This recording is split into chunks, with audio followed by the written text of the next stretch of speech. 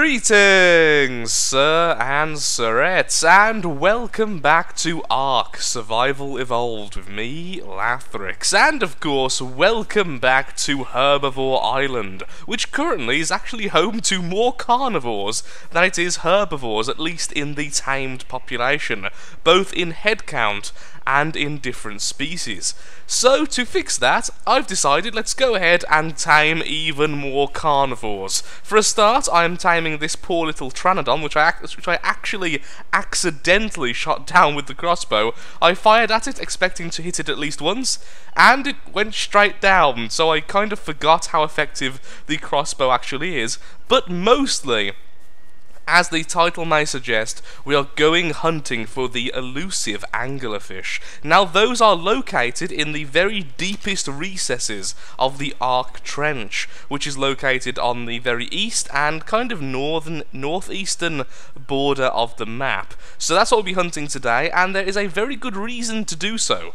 Number one, they are really, really creepy looking, meaning that they make excellent and very weird mounts along with actually being um, luminescent, obviously, so you can actually see better underwater, but secondly, hunting them actually yields a very interesting resource. The bioluminescent material that makes up their little um, angler, I suppose, their little, I don't know what it's called, the stalk on the front of their head, is actually obtainable, and you can burn it in campfires and such, and it is the longest burning fuel resource in the game. And if you use it on a standing torch, it actually causes the torch to burn a luminescent blue, as opposed to the regular orangey red flame. So I'm going to go ahead and allow this guy to be tamed, and we'll be right back on Moss searching the trench for our new prey.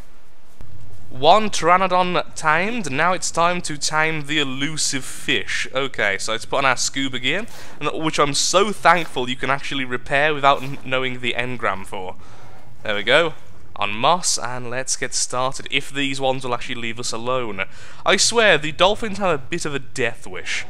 So, we need to go towards the... Oh, of course, you can't check the map, can you? Well, I can assume we need to go towards this direction, so hopefully we'll find one soon. The deeper you are, apparently, the more likely you are to encounter them. Which makes complete sense, as, well, in the wild, they are just that. Even if the ones in Ark are ridiculously huge, which it even admits isn't natural. So yeah, I'm assuming somewhere like this section down here, if we if we can actually get past, which we can. Durden. Durden, Durden. I know sharks are scary, but if this thing was coming towards you, I think it would be even a little bit more, well, frightening. So I assume then what we'll do is just head towards Carnivore Island, and hopefully we'll run into one before then. Oh, what are you? You are a floating coal vein. Well, not even kidding. I thought perhaps the area around it simply hadn't loaded yet, but nope, I just went straight past it. It is literally a floating coal vein. Okay then. Not quite what I'm after, but... Oh, hello, Plesiosaur. I will be eating you both. I'm sorry, but I do need the experience for my lovely little moss here. Also, look, at all that lovely prime meat. Probably going to go rotten before we actually find one of the darn things, but still, still pretty darn nice. A Bit more melee damage, because why not become even more beastly? Now, either my eyes deceive me, or that little blue glow, yes indeed, we have a female anglerfish level 12. Excellent. Okay, now I do know for a fact these things do a ridiculous amount of damage. However, they are quite frail, so we still have to be a little bit careful as not to overly damage this thing. Okay, let's get a little bit closer. Now, Moss is impassive, so... Oh, hello, I don't really want you, I want the blue one. No, oh, level 40, I'm sorry, but you are now dead. Whoa, that's a lot of angler gel. So that's the stuff we can burn. Excellent. Come on. Why can't you... Okay, we just hit it. We did hit it, okay, so it's got one trank dart, sorry, one trank arrow already in it. And is it running away? Okay, well, apparently it's running away. Did not know they did that. Maybe they're like piranhas, if they take too much damage, they just run. Wait, uh, wait, do piranhas do that? You know, now I've said that, I don't think piranhas... Okay, there's another one here, a yellow one. Once again, don't really care, I want the blue one, because the blue one is cool. They drop a lot of stuff. Hello! Just try and tank tank with moss if possible. Three hits. Can we get fourth? Oh, hello! You're turning back around. This one seems really docile compared to the others. Is it going for moss? I think it was. I'm okay with this. It's a lot of hits. And, and apparently uh, now I'm also freezing to death, which isn't helping. Oh, hello. Bad things abound. Bad, shiny things abound. Moss, get closer to me. Yes, there we go, and he is asleep. Or she, rather. Was it she? I can't remember now. Let's go over to it anyway. That wasn't too bad. But not very quick, that's what I did notice. Do I, ah, do I have any prime meat left? I do! Oh, I have loads of prime meat left, that's fantastic. We have been killing things. Thankfully. A Plesiosaur actually did a load of damage to Moss. Turns out it was like a level 100 and something, which was kind of sad. Didn't I just transfer it all? Am I going mad? Did it all rot? I don't know what, okay, I don't know what I've just done wrong there, but obviously I did something wrong. Still freezing to death, so I'll have to go to the surface soon, which is kind of sad. Let's go for the more fresh meat, shall we? Now I know, now I know I only have a very brief amount of time to actually get over to here. So unless I have prime meat somewhere else in my inventory, of course. No, it must have rotted, okay. Here's some narcotics, let's use that straight away. You have loads of torpor. Yeah, I mean, health to torpor ratio is a little bit poor, I guess. It had all the same warnings like the, um, the penguin, essentially, be really careful about it because you can easily kill it by, by mistake.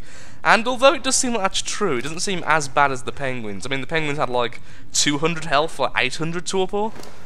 This one has 1,400 for 800 health, so it's not too bad. Here you go, here's some hide as well. You can eat that. Uh, I've got a feeling like a shark's going to try and kill this though if I leave it for too long. Okay, we'll only leave once our health actually gets quite low. Until then, we'll try and stay and defend. What's that in distance? That looks like the sun rising or something? Ooh. Okay, that's helpful. Here, I'm not freezing. Okay, well, I know what I'm doing then, just staying about this distance. And hopefully no evil doers will try and kill the poor fishy. Apparently you eat incredibly slowly. Oh wow, yeah, you do eat incredibly slowly. Saying that though, you are still making room for a prime meat. Come on, I just want, I just want to see how much timing you get for one prime meat. I want to see how hard you are to time. Because if you're not very difficult, I'll probably have like a whole shoal of you since, well, you're a tiny little fish. Well, not, not tiny, but in comparison to the other sea creatures, you are pretty darn small. Comparatively tiny. Wow. Where's the Oh, there's the eyes. Soulless grey eyes. Wow, that's really creepy.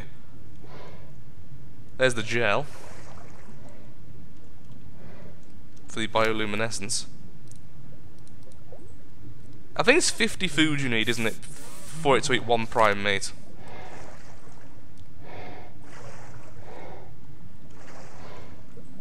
Seems to be getting colder at the moment. Well, that makes sense. I think we're getting further in into, into the night. Wow, that was a load of food you just ate. Okay, well then, this shouldn't take too long at all. So I'm going to head off to the surface, try and defend as, as best I can, and we'll be right back. Also, these things apparently give a lot of experience, which is very, very good indeed. And there we go, we have the anglerfish. Exploring the depths of the ocean can be difficult. The cold, the lack of air, and the shocking absence of light combine to make travel very dangerous. A tamed anglerfish can use the natural light at the end of its stalks to illuminate the depths, making exploration not only safer, but more lucrative. Furthermore, then it talks about how you can, you know, cut off its thing and stuff. Yes, it does. Excellent. I thought I was going mad then. So, there we are. It's apparently aggressive to small fry, otherwise skittish. I disagree with that, as it has tried to kill Moss. At least one of them tried to kill Moss. Now, where is it? There we are. Hello! Oh, look at your cute little doodle bobber. Could we just get... Yes, we can. Excellent. No saddle required on this thing. Does it do anything special with um, right click? Sadly not. That's not too slow and it actually gets moving. Sadly, you can't see properly with the um, scuba mask because how big the um, thing is, the overlay. Actually, if you're zoomed out, you actually see no difference, so... I, I really don't like how the scuba mask is shown, honestly. It's just, it blocks so much of your vision. Oh. There we are. Uh, yeah, it's definitely providing some light. I guess right now, since it's the middle of the day, because it actually took quite a while to time this thing, it's not really adding too much of an effect. So, what we're going to do is we're going to take Moss back home, and then we're going to go hunting with this thing, and seeing just how well it can actually do. By the looks of it, in terms of damage, this thing is ridiculously good. In terms of everything else, I'm not so sure. However, the stamina looks pretty darn good. Still sprinting, still sprinting, no major issues yet at all. Although, it's nowhere near as fast as Moss, because, well, look at the size difference. It's definitely got the creepy factor going on. And we got a lovely blue one as well, so yay for style points. Well, before we get hunting, I think it's only fair we test out the new gel we've just acquired, both in terms of turning the standing torches blue, but also in terms of, well, seeing if the, it can actually be cooked with. I imagine it can, as it'd be really weird if the same item burning wouldn't be able to cook something, so I doubt it won't be able to, but testing is always required. Standing torch, use. And then we also have, of course, the ever valuable campfire. Then all the gel, of course, is currently on Moss. Ah, poor Moss is still hurt. I'll be taking that, thank you. Oh, excellent. It's also not very heavy, which is a good boon, considering how heavy wood can be and such. Um... Hmm. You know, that looks... That looks a little bit glitched, honestly. I guess the idea is... Of course, it's not actually burning, though, is it? It's just... It's just been placed there. Because it glows. Maybe you can't cook with this thing. No, I mean, you can burn it in the thing. Well, I guess then the concept is you can burn it in the campfire if you actually need heat. However, in the torch, you're just placing it. Is that really how it's going to be? There's me thinking it would be something like, I don't know, a, an actual blue flame, not just placing the gel on the stick. In which case, I suppose it's just running out of its light? But on the upside, this thing doesn't have a, a timer in terms of it rotting away, which I thought it may have, considering the recent organic polymer. So let's go ahead and let's see how many cooked meat we can get before this angler gel goes down to 98. Well, rather than waiting around until the gel is finally used, I think it's about time we go ahead and begin the great hunt with our new pet. I looked it up and it turns out the gel lasts a grand total of 4 minutes when used in the campfire and significantly longer when used in a regular torch. I will be back later to see just how this looks in the dark, but for now, we go hunting. Come on my pet. Okay, Moss, you're not following me. Excellent, and let's go. Now, one thing I did neglect to mention is that it does seem to have one major bonus to actually use this thing as a mount. And that's just how agile the thing is. It turns in seconds, whereas most things turn significantly slower. So this is actually really easy to use in comparison. Well, anyway, here we are back underwater. What I'm looking for this time is a shark. And no, I won't be using the scuba mask because, well, I'm absolutely sick of it now. But I just want to see how fast this thing actually kills a shark. Afterwards, I will look up the actual base damage of this and compare it with, with other creatures. Now, base damage is a little bit misleading sometimes because it also depends on the speed of attack of your creatures. This one seems to attack not very quickly, honestly, so even if it does have a high base damage, that might not necessarily say that it's got a high damage per second. Well, we're pretty much alone right now. Let's see if we can find something soon. Well, not quite our target, but it's the first thing that seems to be angry at us. Hello, fellow anglerfish! They do run away really quickly. I don't think it's based on how much damage they've took, I think it's just how much damage, like, if they have taken damage or not. Also, is that like pure black? That looks remarkably creepy. That did take a while. Oh, hello, another one. Yeah, once again, as soon as I hit it, simply runs away. Well, that also means then they make absolutely easy prey, because even a weak creature could kill them, as long as you can keep up, and they're not particularly fast.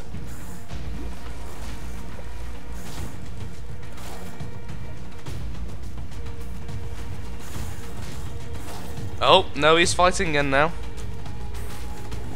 No, and there he goes, absolutely killed. And we get all that lovely gel. That's absolutely fantastic though. The fact this can be used to cook and I assume smelt as well, this probably makes one of, one of the best resources to actually use for that, especially since how long it lasts, being the big bonus. Also, has a surprisingly high white capacity, which I only just now noticed. Uh, let's increase melee damage and then health. But also, seriously, these things give so much experience, it's ridiculous. For such easy targets. Still want to find a shark though, because sharks are one of these things I've killed so many times, I can kind of use as a base to see how much damage we're really doing. The bioluminescence of the fish is finally being shown off now that it's, well, about midnight, and it looks really cool. I don't know how much it's really helping me, because I can see pretty much anything anyway, and this is on the standard gamma, but even so, I do love the effect. Perhaps if you were hunting for the trilobites that make this area home, then, well, this is probably your kind of fish, but don't really see much use for it, but just love the effect nonetheless. Oh, hello, there's one. Saying that, I would have missed these if it didn't shine on them, so perhaps there is some use. Just less so for things like the pearls and such. Also, these things take too many hits. Even Moss can't kill these in one shot. Also, still no sharks yet, which is kind of surprising. Perhaps I'm just a, li a little bit too low down. Back to the surface we go. Well, there we have it. We found ourselves a shark. Let's see how well the giant fish does versus it. Okay, we're just going to do a straight up fight here, no trying to kite around it, because ultimately I think that this fish would be agile enough to actually stay behind the shark the entire fight. However, it didn't seem to need it. That was a pretty one-sided fight. We lost just under 300 health, just under, and the shark, well, lost its life, and it was level 28, we were level 22. So well done to the fish. Still very frail though, although, although, saying that we are constantly upping the melee damage, which does seem to go up in huge amounts of percent. It's definitely over 20%, I haven't really been keeping track, so I should have been looking at that really since the levels do differ per animal. Or at least I think they do. Maybe they don't, I don't know, but either way, the fish seems to be really agile, good at carrying a little bit of weight, fairly fast at over long distances, and has a really ridiculously nasty bite. So, overall, really happy with it. I also love how it puts the lure in, in its mouth just before it bites. That's so awesomely creepy. Come on, little fish, go into the lure. I kind of wish that the lure maybe like attracted the coal or something. That would be fantastic. Imagine all the little fish kind of slowly coming towards the angler just before bite, and there they all go. Is that another shark? I would say that. I would say that's a second shark. Excellent. We get to test out once again. Hopefully not a ridiculously high level, since we are out of stamina to run away. They're saying that with how, with how slow the sharks are in this game. Okay, level 40.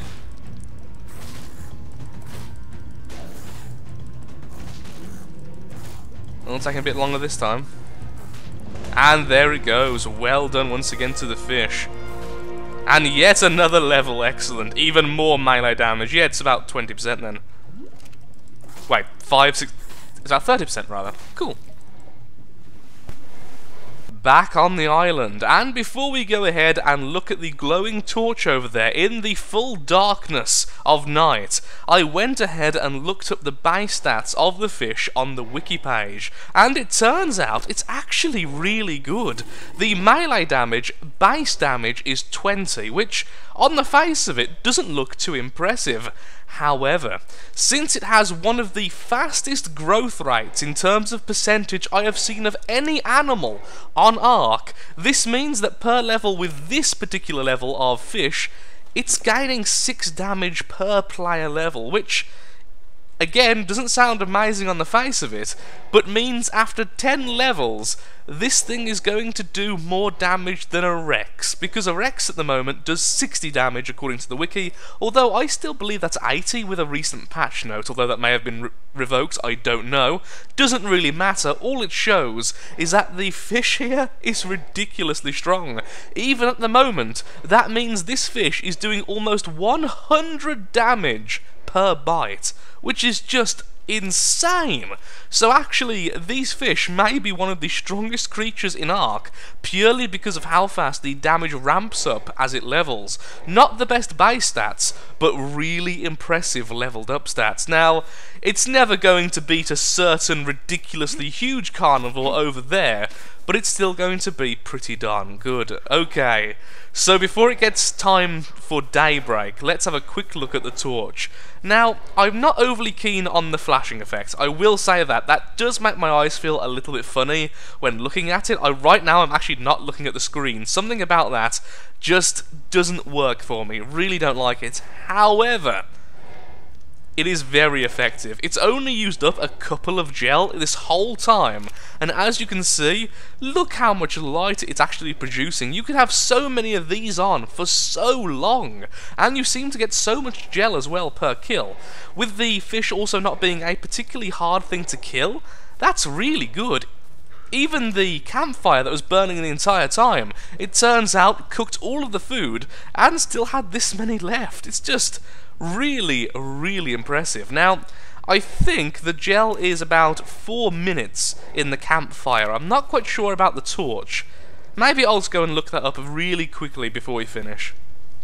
Wow. I've just looked it up on the wiki, and the gel is even better than I expected. In the campfire, I was correct, it is exactly 4 minutes worth of burning time, which, again, is really, really good and makes it easily the best fuel currently in Ark, as long as you don't mind farming the stuff, because of course, it's at the very bottom of the ocean but in a standing torch, it lasts over one hour. Of course, one hour real time, not in-game time.